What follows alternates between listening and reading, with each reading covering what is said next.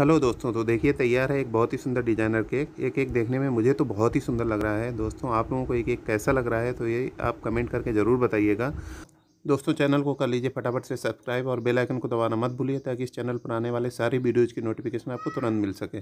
तो दोस्तों, वीडियो को स्किप मत कीजिएगा। स्टेप बाय स्टेप देखते हैं इस केक की डेकोरेशन ये हमारा केक हमने क्रम कोट किया हुआ था, जो फ्रीजर से निकाला है। अब इस पर पाइपिंग बैग में क्रीम भर के एक पतली लेयर क्रीम की देते हैं। स्क्रैपर से केक की साइड्स को कर लेते हैं इवन एक्स्ट्रा क्रीम हटा दी है, अब बड़े वाले नाइफ से केक के टॉप को भी स्मूथ कर लेते हैं।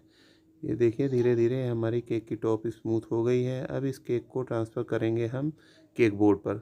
एक केक आ गई हमारी केक बोर्ड पर और बाकी की डेकोरेशन करेंगे केक बोर्ड पर। यह है न्यूट्रल जेल जिसमें ब्लू कलर मिलाया है और ब्लूबेरी फ्लेवर भी डाला है। इस जेल को पाइपिंग बैग में भर लिया है और पाइपिंग बैग की हेल्प से इसे केक की टॉप सरफेस पर इवनली स्प्रेड कर ले रहे हैं।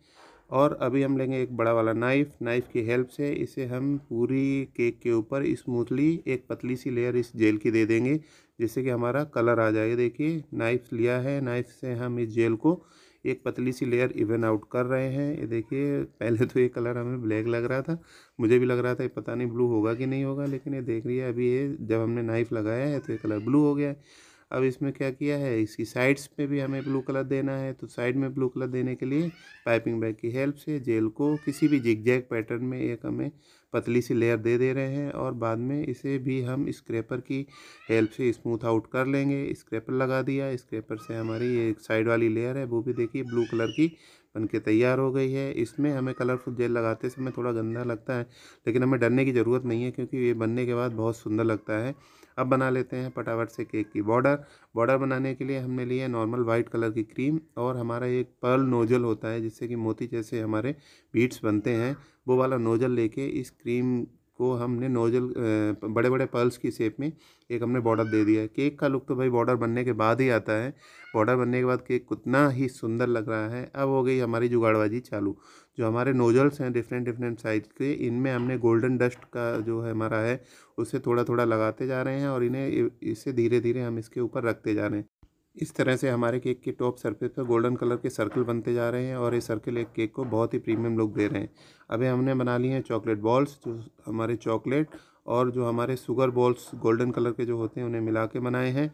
अब इन्हें हम लगा लेंगे चार पाँच बॉल्स लिए हैं। इन्हें हमने केक की टॉप सरफेस पे कर लिया अरेंज अब इस पर हम लिख देंगे हैप्पी बर्थडे जिसके लिए हमने वाइट क्रीम का यूज़ किया है।